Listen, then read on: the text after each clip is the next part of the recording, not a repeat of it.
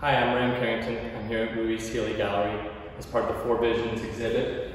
I'm a film photographer. I do medium format and 35. I really like 35 because of the uh, accessibility, the portability of the small cameras.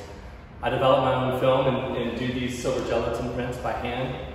I'm uh, essentially a, a self-taught photographer. I've only been shooting for five or six years. I got my start um, in the music industry. I was a marketing guy, but I was working for a concert film production company.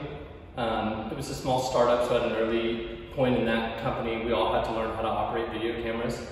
Um, after a couple years of filming concerts all over the country and sometimes internationally with outdoor, indoor, low light, natural light, I started realizing I was kind of falling in love with um, visually capturing something uh, the, the composition, the storytelling.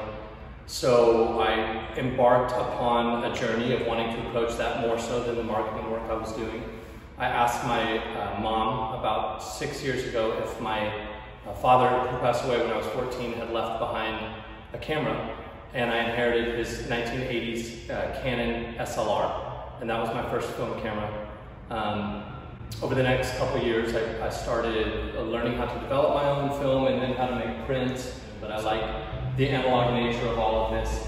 Uh, the tangibility is, is something that um, deeply important to me. You know, I, I, all of this work I've done in the music industry vastly is digital video, and I'm proud of that as well. However, there's something um, that really speaks to me about the permanence of my archive of negatives, my archive of prints, my archive of contact sheets, uh, and just feeling like almost that I made this from scratch. There's a lot of uh, pride I think in that. The South Texas imagery here is a, is a huge part of my style and approach. I, I born and raised in San Antonio, but my family um, for uh, seven generations now has, has kind of come from a South Texas ranching family. So this is very much um, part of who I am and what I grew up with at moments when I was a teenager, I wanted nothing to do with this. I wanted to kind of leave it all behind and, and go explore the world and uh, be a rock star. And in so many ways, in kind of living the dream of traveling around with musicians and seeing so much,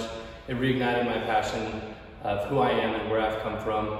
And uh, as cliche as it is, once I had a camera in my hands and was able to explore some of this imagery and, and themes and culture that I grew up in, that's really what it took for me to start understanding it on a deeper level and appreciating it and understanding how much it has impacted me.